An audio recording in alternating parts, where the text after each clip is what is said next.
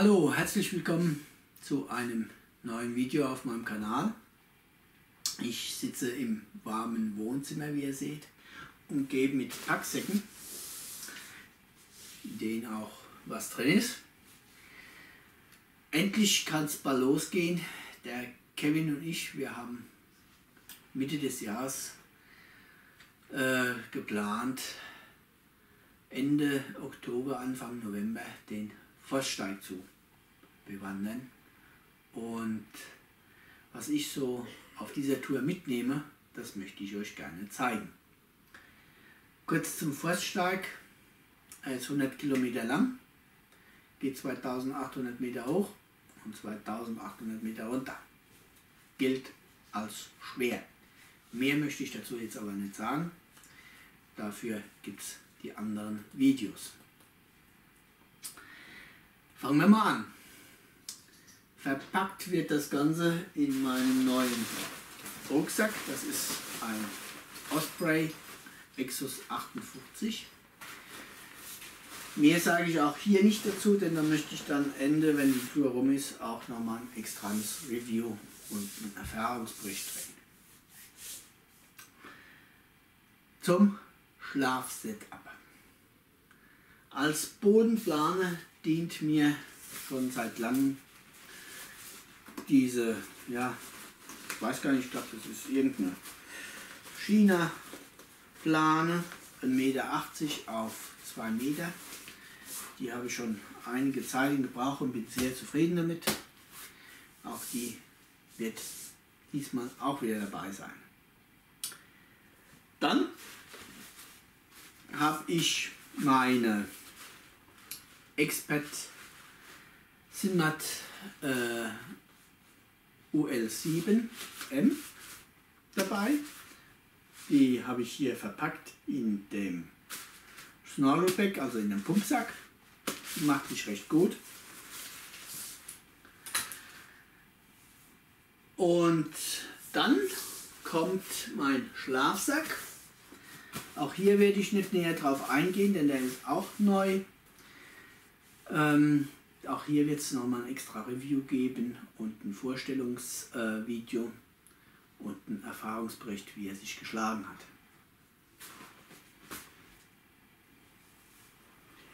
Und als Regenschutz mein Ultra Light Tarp DD 12,90 Meter auf 3 Meter. Das sind noch vier oder fünf Haken, dabei, auch die Alu-Heringe, super leicht und ein paar Schnüre. Das ist mal das Schlafsetup. Nachdem ich das jetzt im Rucksack verstaut habe, geht es weiter mit dem Kochset. Als Kochset geht mit meine Pfanne, mein Tantopf, mein kleiner Gasbrenner und dieses Becherchen, Faltbecherchen für den Kaffee, eine Gaskartusche und ein Löffel. Das sollte auf jeden Fall reichen. Das machen wir auch wieder rein. Ursprünglich wollte ich eventuell ein Edelstahl-Kochset mitnehmen, aber dann hat doch dieses Set gewonnen. Machen wir hier rein.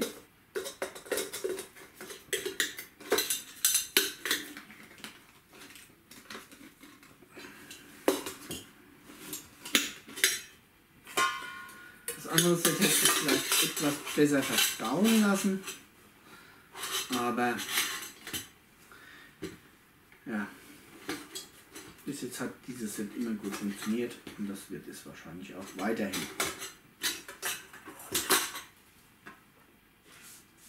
So, auch das habe ich jetzt wieder im Rucksack verstaut und weiter geht es mit den Lebensmitteln. Da habe ich zwei Beutel Und die sind auch am schwersten, die machen am meisten an Gewicht aus. Und damit ihr mal seht, was da drin ist, das machen wir jetzt mal auf.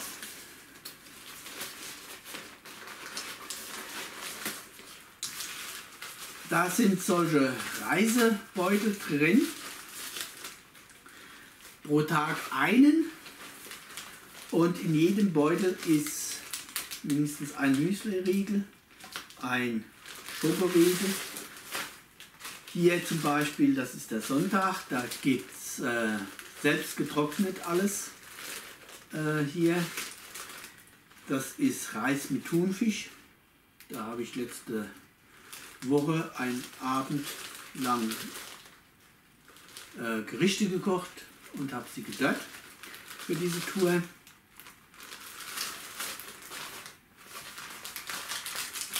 Noch ein Müsli-Riegel für zwischendurch, also so um die Mittagszeit ungefähr. Dann zwei Päckchen Kaffee, noch was Süßes für die Nerven. Und da das der Sonntag ist und wir da starten, ist hier kein Frühstück drin.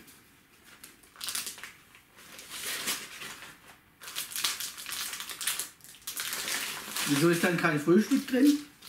Ganz einfach. Ähm,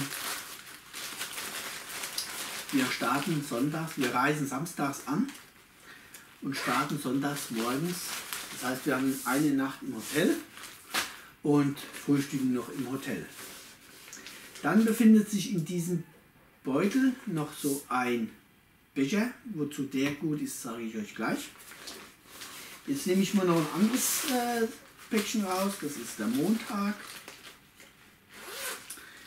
Da ist auch wieder drin zweimal Kaffee. Ne, hier ist sogar dreimal Kaffee drin. Ich gönne mal was. Dann wieder Müsli-Riegel, Schokolade bzw. Duplo. Was Süßes für zwischendurch. Ja, da habe ich aber am Montag gönne ich mir ja was, muss ich gerade. Viel Süßes. Und am Montag gibt es wieder selbst gemacht Nudeln mit Hackfleisch. Da hat jede Portion ungefähr äh, 200 Gramm oder 260 Gramm. Ne, Quatsch, trocken sind das 130 Gramm ungefähr und ähm, ich handhabe das so, da wir ja abends essen.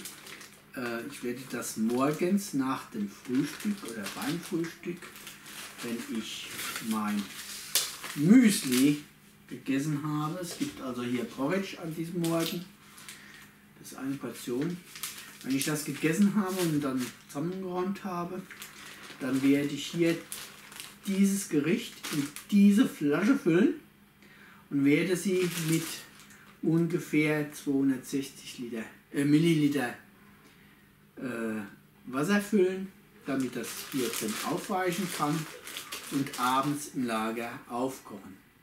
Ich mache das jetzt schon einige Zeit so und muss sagen, ich habe damit gute Erfahrungen und es hat bis jetzt immer geschmeckt. Gut. Ich packe das jetzt gerade nochmal weg. Also verhungern werde ich nicht, das ist immer meine größte Angst. Bin mal gespannt, was ich davon wieder mit nach Hause nehme. Wie gesagt, in diesem schwarzen Beutel ist da für jeden Tag ein Gericht bzw. die Tagesration drin, was es zu essen gibt. Da haben wir so hier den Sonntag, hier ist der Montag, hier ist der Freitag. Hier ist der Mittwoch. Das fühlt sich auch ganz gut an. Hier ist der Donnerstag. Und das ist der Dienstag. Wie gesagt, das ist der schwerste Beutel, aber es ist der einzige Beutel, der auch vom Gewicht her immer weniger wird. Das muss man sagen. Ich, da hat, glaube ich, zwei zweieinhalb Kilo ungefähr. Und äh, da wird wie gesagt immer weniger. So, jetzt räume ich den wieder ein. Und zwar von Freitag, Donnerstag, der Mittwoch, der Dienstag, der Montag und der Sonntag. So.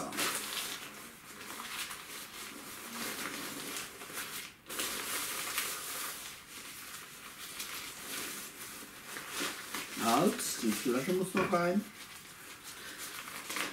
Sonst wird das am Schluss nichts.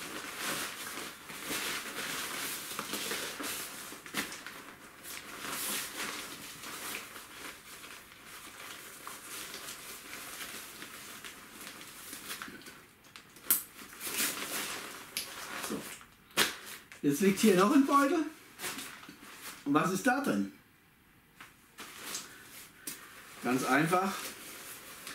Ich kann natürlich tagsüber nicht nur von Müsli-Riegel und ähm, Müsli-Riegel und äh, Schokolade leben. Da ist noch ein bisschen Bifteige drin und hier sind noch ein paar Würstchen drin. Das ist eigentlich so für den Mittag.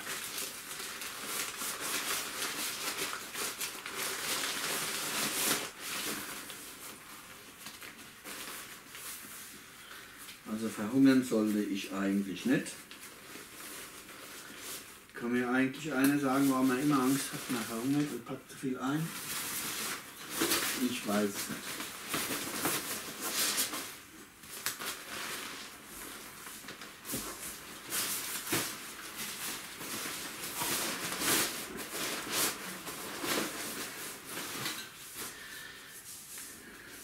So, auch das ist verstaut. Als nächstes gehen wir zu der Kleidung. Die müsste hier drin sein. Ich gucke gerade mal. Jawohl. Die raube ich jetzt nicht aus, sondern ich sage euch ganz einfach, was drin ist. Da ist ein kurzes Ersatz-T-Shirt drin, zwei Ersatzstrümpfe, also zwei Paar Ersatzstrümpfe, zweimal Ersatzunterwäsche und eine lange Unterhose für die Nacht. Das sollte eigentlich reichen. Und äh,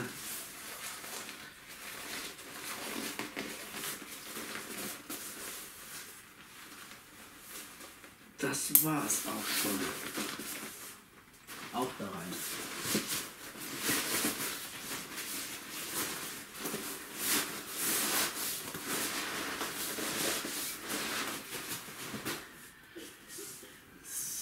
So, dann haben wir hier noch ein Päckchen. Da muss ich selbst mal reingucken, was da jetzt. Ah, was hier drin ist. Hier ist noch mal drin eine Mütze, ein Halsschal, ein paar Handschuhe, eine Regenjacke und eine Regenhose. Es ist wie gesagt Ende Oktober, Anfang November. Ähm, wir rechnen sogar mit Schnee, was da gut sein kann. Es könnte also auch etwas kühler werden die Nächte. Lassen wir uns mal überraschen.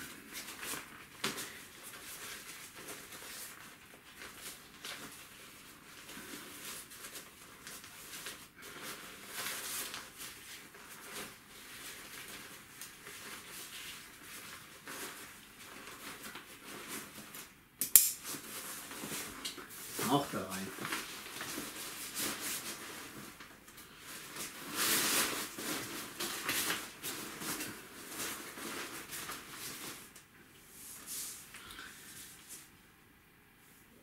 Dann haben wir hier, das ist auch nochmal ganz schön Gewicht, ein Päckchen, da ist alles für die Technik drin, sprich Akkus für die Cam.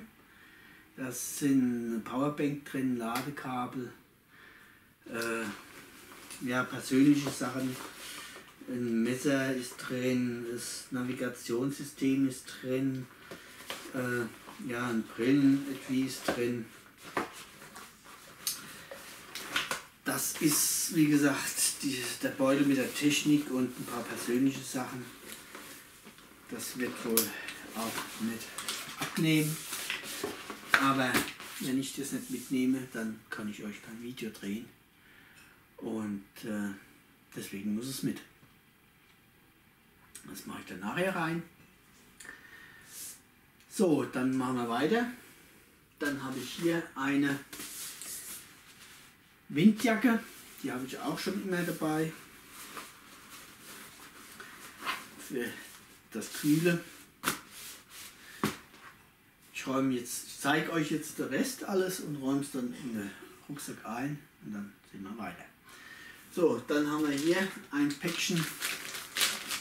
Das ist das äh, Toilettenpäckchen. Da ist Reinigungs- bzw. Toilettenpapier drin und ein paar Feuchttücher.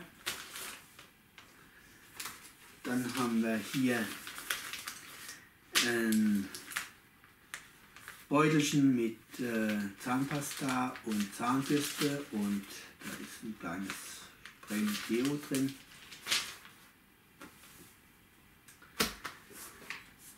Hier haben wir ein Erste-Hilfe-Set dabei, was auch beinhaltet Tabletten, also Schmerztabletten ein paar, ein Desinfektionsmittel drin, dann ist Fußcreme drin, falls ich Blasen bekomme oder Probleme mit den Füßen, dass da was nicht passt.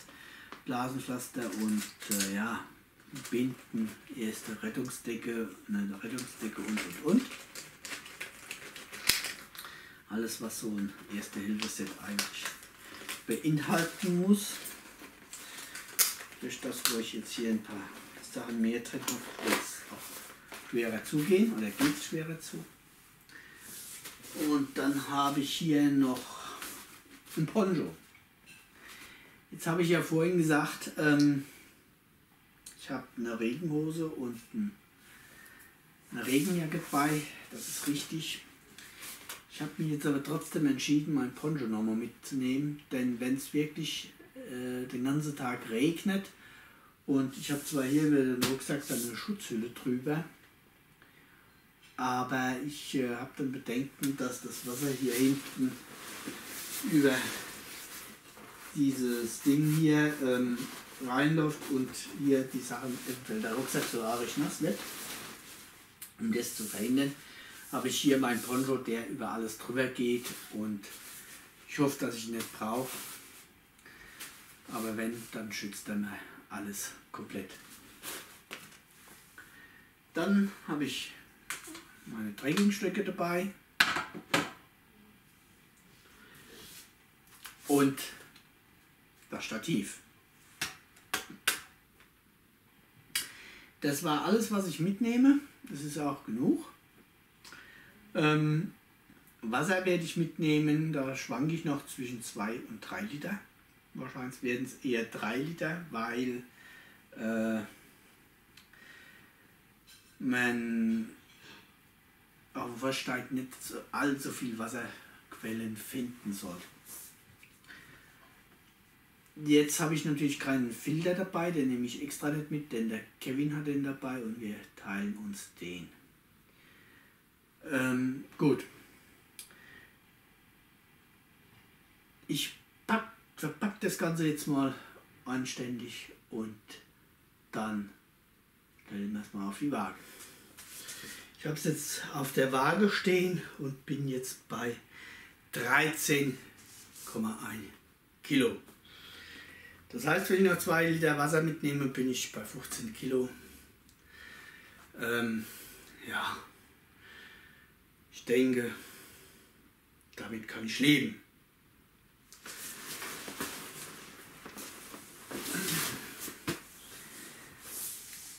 So, das war's und während du das Video geschaut hast, sitzen der Kevin und ich hoffentlich schon im Zug für nach Sachsen an den Startpunkt vom Forststeig. Ich hoffe, du begleitest uns auch dort.